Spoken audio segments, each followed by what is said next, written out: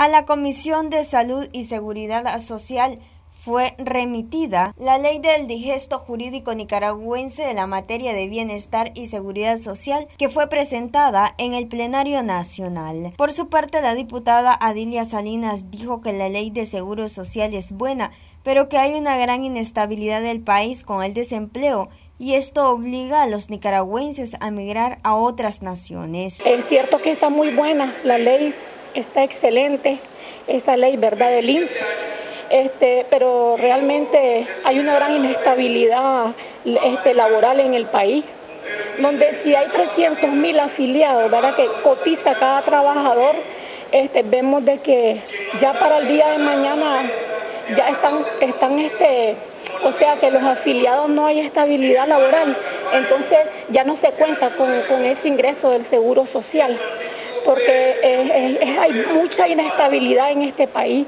hay falta de empleo, eh, vemos el tema de, los inmigrantes, cómo van sufriendo, cómo están yéndose por puntos ciegos, donde vemos que en el país no tanto la falta de empleo, sino la seguridad también y las libertades que falta en el país.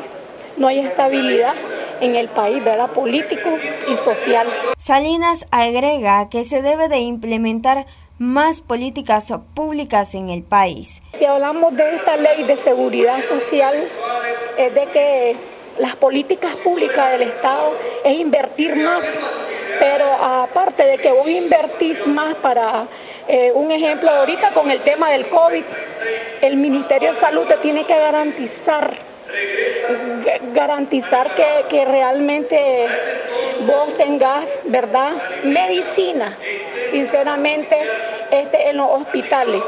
Que los jubilados tengan derecho a, su medicina, a que se les hagan sus exámenes, a de que se les garantice su medicina y sus exámenes, pero realmente en buenas condiciones y, en el caso también este, de, su jubilación, que la gente hasta 17 años de vida tiene que entregarle 17 años, ¿verdad?, al Estado.